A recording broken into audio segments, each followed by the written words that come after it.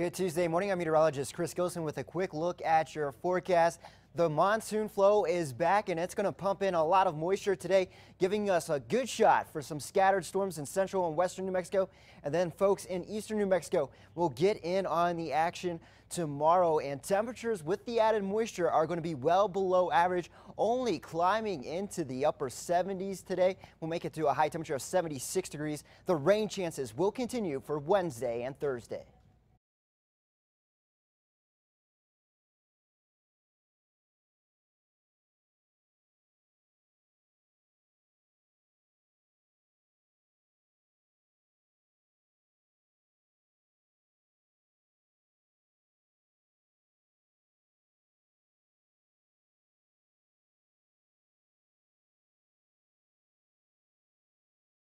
Good Tuesday morning. I'm meteorologist Chris Gilson with a quick look at your forecast. The monsoon flow is back and it's pumping in a lot of moisture. So we're going to see a lot of scattered storms later on this afternoon, lasting into the evening and possibly the overnight hours as well. Central and western New Mexico favored for today. Eastern New Mexico will get in on the action as we head into the middle and latter portion of the week. Temperatures well below average. Not too bad for this time of the year with that added moisture. Temperatures are going to be climbing only into lower 80s.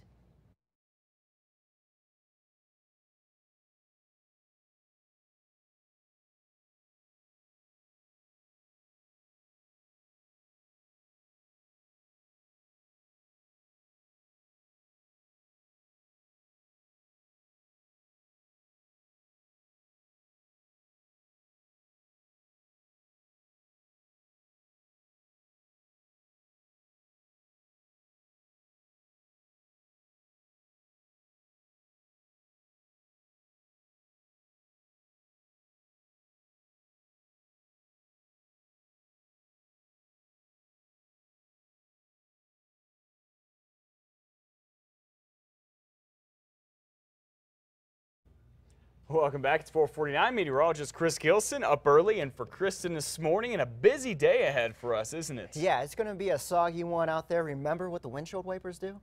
They wipe off no, the rain. haven't used them for quite some time. Well, you're going to need them today, and we're already seeing some heavy to moderate rain falling in southern and western New Mexico. We have flash flood watches posted for all the areas shaded in green. Now, these flash flood watches don't only last for today, but also for tomorrow and even in some cases until Thursday evening. So we're talking about a lot of rain over the next several days, and it's already active out there right now. Last night in Albuquerque, we had a few spotty showers, but it's pretty dry in the metro area up to Rio Rancho and also Santa Fe, but that will be changing as we head into later morning hours and even around lunchtime, we'll start seeing the showers and thunderstorms moving in to the metro. But check out to our south what's going on around Silver City and Socorro along Interstate 25. Some heavy to moderate rain falling where you're seeing the yellows. That's indicating some heavier rain. And then we also have some rain showers just to the north or south of Grant. So this activity is pushing from the south to the north and it will eventually fill in and move into the metro. And right now in Grants, you're getting ready for some moderate rain to move into your area. And that will be crossing Interstate 40 here in the next half hour or so. So it's going to be a rather soggy Tuesday. And again, this is only the beginning. Here's satellite and radar showing basically all the cloud cover in central and western New Mexico. The further east you go right now, things are pretty clear and dry this morning. Temperatures not too bad, starting out in the upper 60s at 68 degrees here in the metro, 55 degrees in Las Vegas, 52 in Taos, 66 degrees in Roswell, and it's 69 in Carlsbad. And believe it or not, temperatures aren't going to be climbing that much at all. We'll only make it into the middle 70s here in the metro. Satellite and radar showing a lot of the activity still in Arizona, but this moisture is slowly pushing to the east and it will move into central New Mexico as we head into the afternoon hours. So we're going to see an uptick in shower and thunderstorm activity here in much of the state as we head into the afternoon. You can see that here on the forecast model where you're seeing the yellows and the greens pretty much overspreading a lot of central and western New Mexico. We have a low pressure system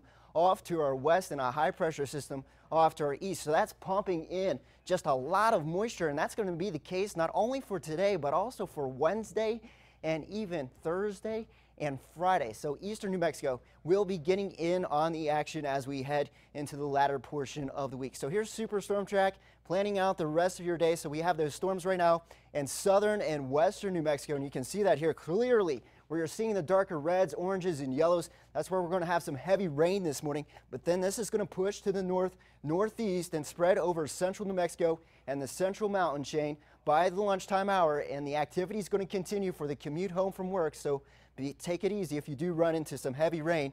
And then by later on tonight, we're still going to have that activity lasting into the overnight hours tonight. And then when you're waking up on your Wednesday morning, it's possible that we could still see some showers and thunderstorms going across northeastern New Mexico for folks in Las Vegas and Tucumcari. So here's the extended forecast in southern Colorado for today. Check out these high temperatures only climbing into the low to mid 60s. 62 degrees in Pagosa Springs, 64 in Durango, 67 in Cortez with rain lasting throughout the week. In Farmington, you'll make it to 76, 72 in Gallup, 73 in Grants with heavy rain for today.